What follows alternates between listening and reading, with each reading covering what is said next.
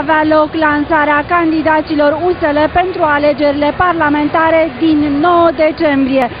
Aici participă și o delegație formată din 2000 de membri ai Uniunii Social-Liberale din Dâmbovița. Peste 60 de autocare din județul Dâmbovița a ajuns aici. După cum știm, Uniunea Social-Liberală are 11 candidați înscriși în cursa electorală din 9 decembrie. Miercuri seara la Arena Națională, Uniunea Social-Liberală și-a lansat candidații la alegerile parlamentare. Stadionul Arenei Naționale a fost umplut până la refuz de peste 75.000 de oameni din întreaga țară care au ascultat discursurile liderilor USL și oaspeților de peste hotare. În deschidere, Andra a intonat imnul României. Stanișev le-a spus participanților de pe Arena Națională că președintele României Traian Băsescu aparține trecutului. Președintele Partidului Socialiștilor Europeni le-a urat succes participanților la alegeri și a anunțat că îl sprijină pe Victor Ponta.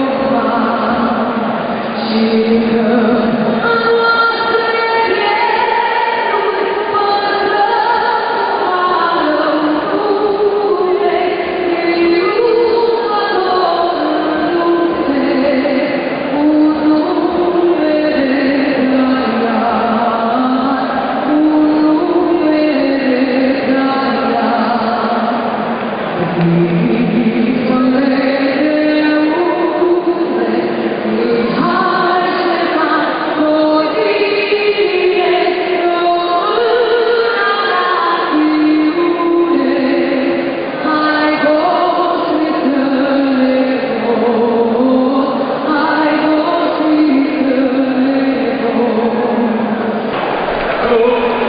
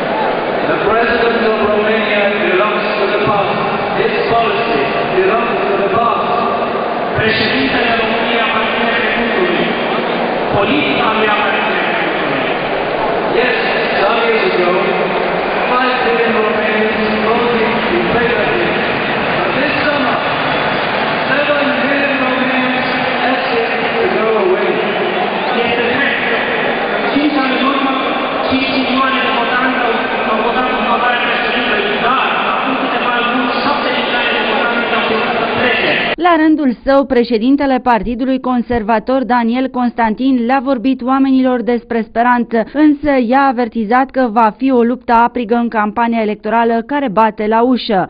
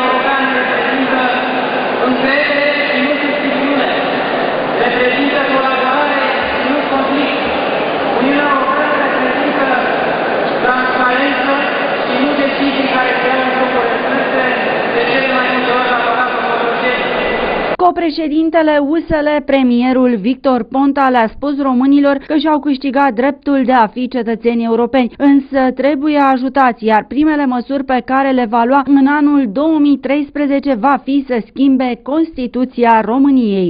În 2013 trebuie să schimbăm nu doar Constituția României, ci modul în care a fost gândit statul român în acești ani.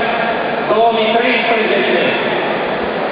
Odată cu sfârșitul regimului Băsescu se va încheia perioada post-comunistă în România. Traian Băsescu este ultimul comunist al Europei, este ultimul securist al Europei. Trebuie să schimbăm nu doar pe el, ci sistemul care l-a ținut la putere în acești ani. Stimați colegi,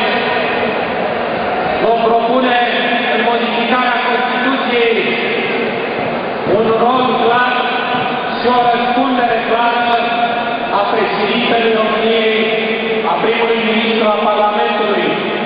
Nu mai putem să introducem sau să lăsăm să introducă Curtea Constituțională false formuri în care dumneavoastră șapte milioane și jumătate să contați mai puțin decât și judecători de la Curtea Constituțională.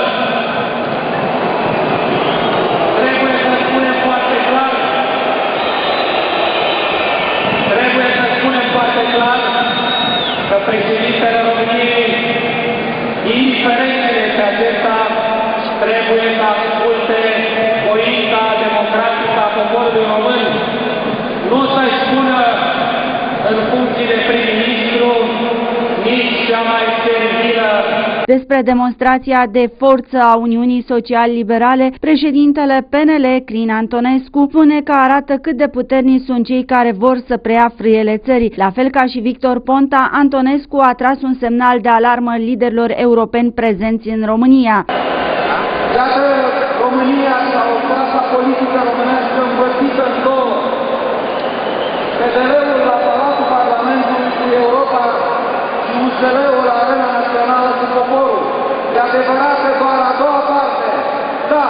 Pelé,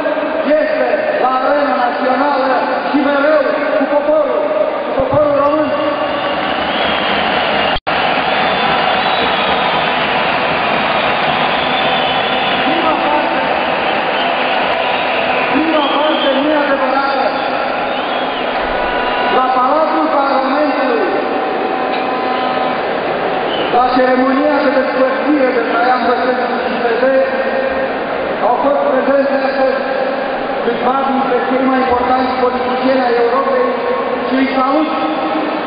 Și vă rog să faceți și voi.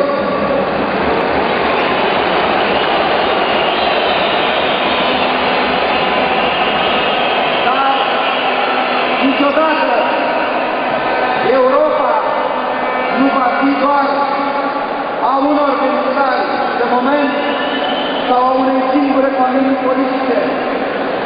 Europa este din plin liderul societiștilor europeni care este aici cu USR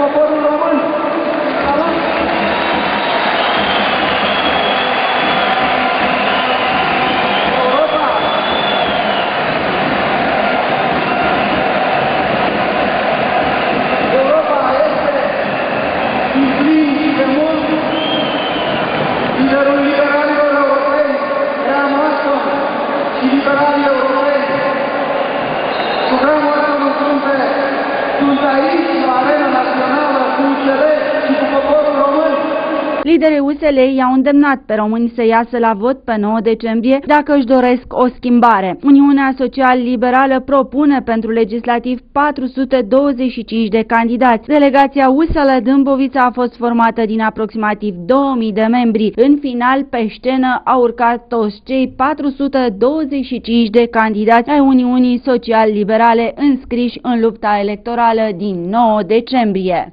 Domnule